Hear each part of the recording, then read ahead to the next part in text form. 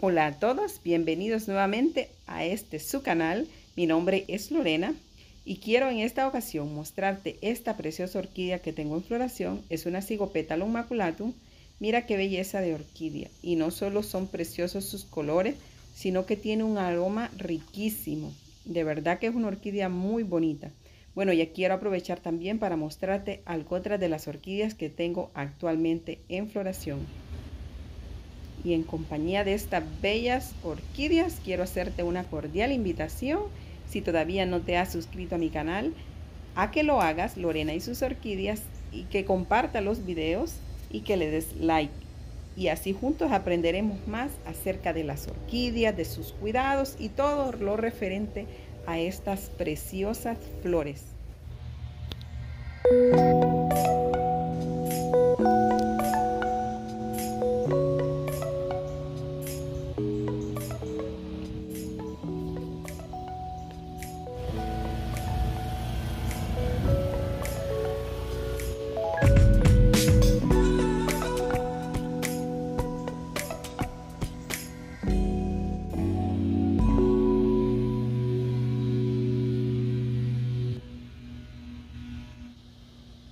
Como les dije en este video, quiero hablarles acerca de esta orquídea Cigopetalum, cuáles son los cuidados básicos que yo le doy y hablarles todo referente a esta orquídea.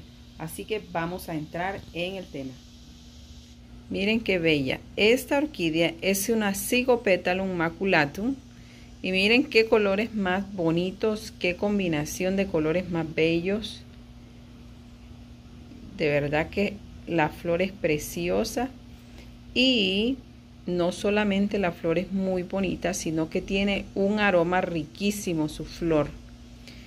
Pues quería mostrarles cómo está esta pequeña planta, que aunque es una planta muy pequeña, pues me sorprendió porque me dio una varita floral. ¿Cuáles son los cuidados que yo le doy a esta planta? Como yo tengo cultivada esta orquídea, pues la tengo en, una, en un sustrato mixto de corteza de pino, piedrita, carbón y también le he puesto un poco de musgo. Así que esta es la combinación que yo tengo en mi sustrato para esta orquídea en específico. Eh, y también pues yo la abono cada 5 o 6 meses con el fertilizante osmocote, que es un fertilizante de lenta liberación. La verdad que me sorprendió con que me diera flores esta pequeña planta porque esta es una división que yo hice de una mata madre y bueno, no creí realmente que me iba a dar flores este año.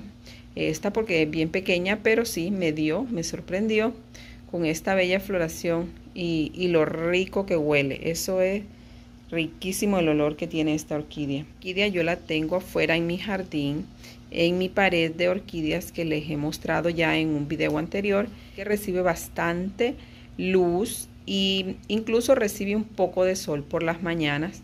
Eh, pero sí, la planta está muy bonita.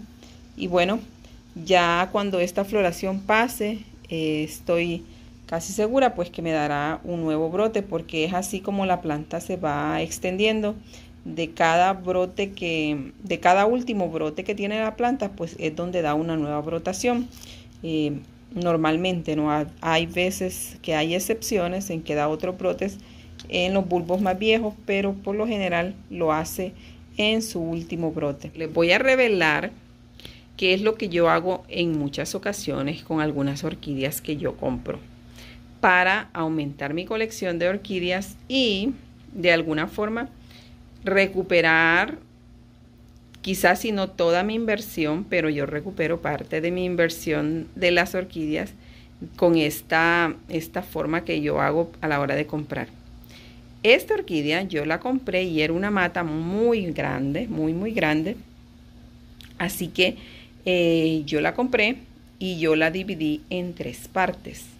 Eh, las otras dos que yo dividí, las otras dos plantas que me quedaron, eran unas plantas bastante grandes, incluso estaba en unas maceteras el doble de esta, em, y con flores, así que esas dos yo las vendí. Acá les muestro las dos imágenes de las dos plantas que yo dividí también, aparte de la pequeña que tengo ahora mismo en floración.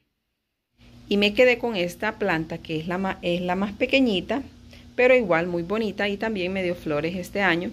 Em, y de esa forma pues yo recupero lo que yo invierto o si no lo recupero al 100%, pero lo recupero en un buen porcentaje, la inversión que yo hago de mis orquídeas, las vendo y yo me quedo con una planta eh, para mí. Así es como yo voy aumentando mi colección de orquídeas. Em, como les digo, no lo hago con todas, eh, solo es cuando encuentro alguna planta, eh, alguna orquídea que está muy grande, entonces yo hago eso, em, pero mm, no siempre. En muchas ocasiones, pues cuando he comprado me quedo con la orquídea tal y como la compro, no la divido, porque realmente al dividirla, pues lo que sucede es que em, la planta pues queda más pequeña y va a tardar muchos años en convertirse en una planta adulta, en una planta madre, como le decimos. Em, y recordemos que entre más grande sea una planta de orquídeas, entre más años tiene, pues sus floraciones se vuelven más abundantes eh, hay mucho más bulbos, mucho más floración, por lo tanto. Pero bueno, ese es uno de, de los trucos que yo he encontrado para eh, ir aumentando mi colección de orquídeas y de alguna forma pues recuperar la inversión en alguna manera. Bueno amigos, pues espero que este video les haya gustado, que les haya podido ayudar con el cultivo de sus orquídeas y si ustedes tienen de esta orquídea, cuéntenme cómo es que ustedes la cuidan, cuáles son los cuidados que le dan y, qué tal con el cultivo de esta orquídea. Em, que con mucho gusto estaré respondiendo a sus comentarios. Y será hasta una próxima ocasión en la cual les muestre un video más de mis orquídeas en floración y todos los cuidados que yo les brindo a ellas para obtener floraciones así de bonitas y preciosas.